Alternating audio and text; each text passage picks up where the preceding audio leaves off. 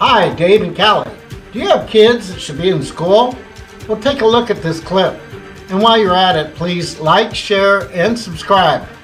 Thank you, everybody.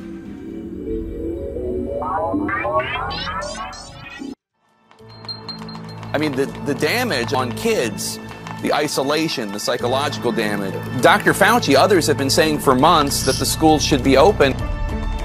Joe Biden, why are you more concerned about opening our borders than you are about opening our schools? Why is the White House having so much trouble answering this question? He's scared of teachers' unions. Healthcare officials are now saying that children need to go back to school. The unions are not standing up for the kids.